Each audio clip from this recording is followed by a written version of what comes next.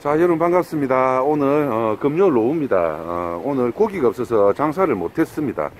어, 수조 정리를 하고 있었는데 어, 아는 형님께서 감성돔 4마리 잡으셨다고 해서 감성돔 4마리 가져왔습니다.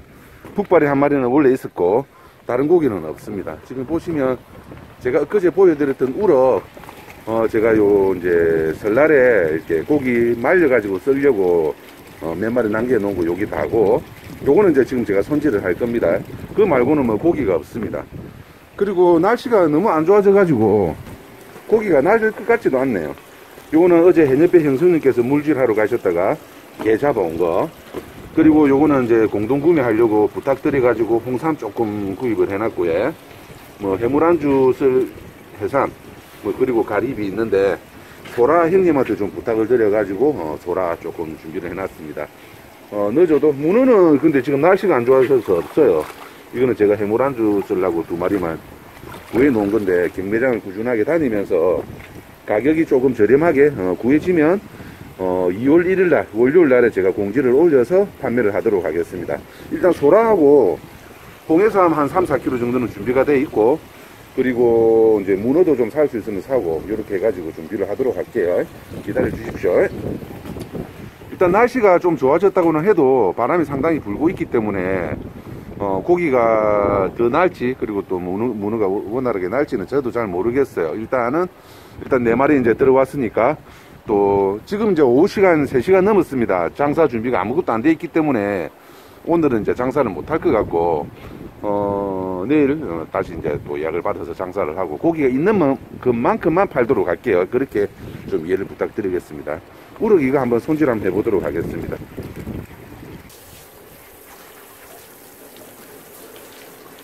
아 날씨가 상당히 춥기 때문에 아이고 좀 수건을 좀 뚫어 쓰고 해야 되겠다. 어, 날씨가 상당히 춥기 때문에 간단하게 짧고 굵게 한 마리만 딱 보여드리도록 할게요.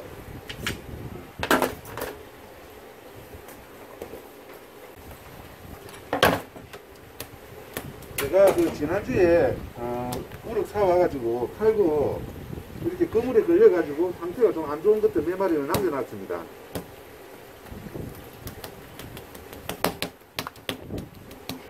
왜 남겨놨는가 하면 이제 어, 제 수용 고기로 반으로 갈라서 살짝 말리려고.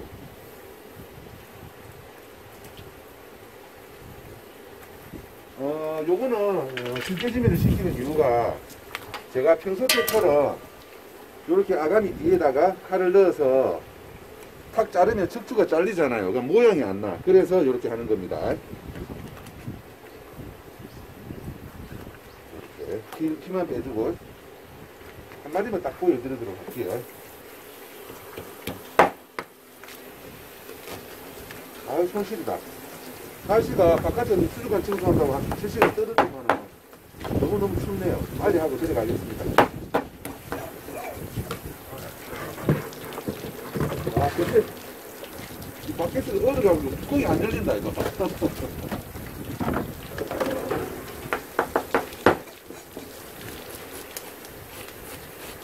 뭐 간단합니다. 비늘을 어, 제거를 하고 이렇게 반으로 갈라주면 되겠죠.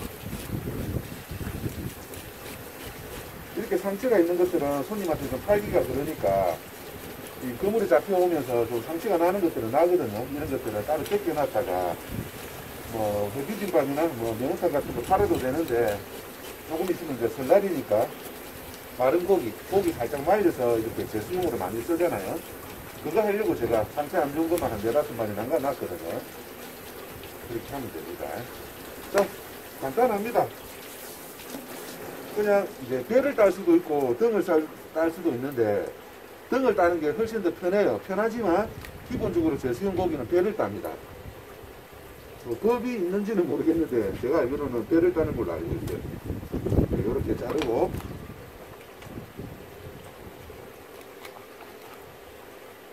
자 그렇게 내장을 제거를 해줍니다. 날씨가 추워져가지고 물 닿는 게 다 얼고 있어요 지금. 그 다음에 아가미 제거를 해줘야 되겠죠.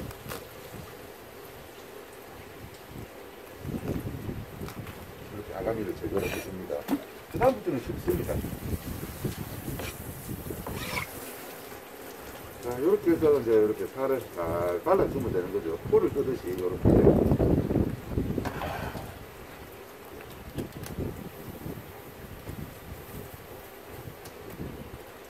이렇게 해서 척추뼈 왼쪽으로 이렇게 칼을 넣어서 이렇게 딱 쪼개줍니다.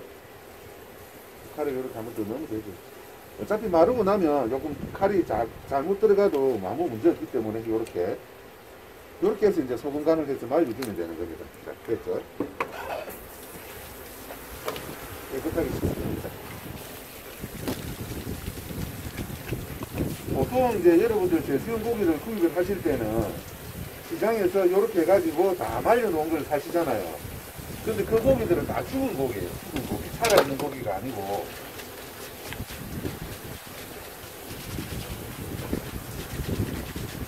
선어, 선어. 배에서 다 죽었던 고기를 이렇게 손질해가지고 하는 거기 때문에 아무래도 이제 살아있는 고기를 이렇게 손질해서 하는 거하고 그래도 죽은 고기를 손질해야 하는 거는 맛이 달라요. 제 같은 경우는 이때까지 이렇게 살아있는 고기만 먹어서 그런지 모르겠지만 확실히 살아있는 고기를 가지고 이렇게 손질을 하면 어, 고기도 훨씬 더 잡내가 없고 냄새가 안 나요. 비린내도 안 나고 이렇게 콤콤한 냄새도 안 나고 어, 이렇게 맛있게 예, 손질이 됩니다. 이렇게 해서 소금 간을 해서 말리도록 할게요. 그리고 내장 우럭 같은 경우는 요즘 알도 들어있고 상당히 맛있는 시기죠. 그 내장 모아가지고 내장탕 끓여 먹으면 상당히 맛있습니다. 그리고 그 소라를 형님한테 해녀배 선장님한테 조금 더 부탁을 해놨는데 날이 안 좋아져가지고 월요일까지 좀 잡힐지 모르겠네요. 나중에 형님 들어오시면 그래도 내장탕에 소주 한잔한 드려야 되겠다. 자, 이렇게 해가지고 내장 좀 밀겠죠. 아, 날씨가 너무 좋습니다. 빨리 빨리 한번 들어갈게요. 자, 이렇게 하면 어, 제수용 어, 우럭 말리기 성공. 됐죠? 끝.